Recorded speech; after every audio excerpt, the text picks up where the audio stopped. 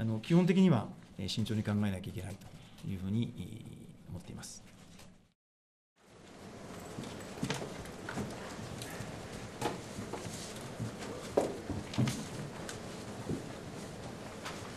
それではただいまから西村大臣の記者会見を始めます。や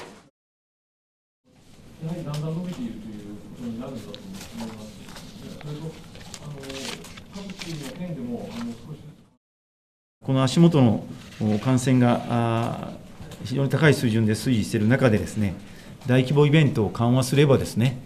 当然、その分人の移動が起こることになります。埼玉県でも埼玉アリーナはじめ、さまざまなイベントについてですね、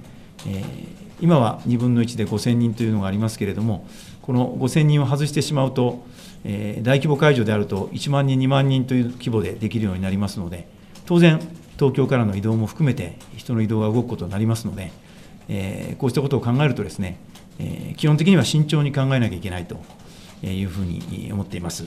え、いずれにしても、え、このことについても、え、近いうちにですね、えー、分科会を開くなりをして、え、専門家の皆さんの意見を聞いて、え、判断をしていきたいというふうに思っています。あの基本的には、え、慎重に考えなきゃいけないというふうに思っています。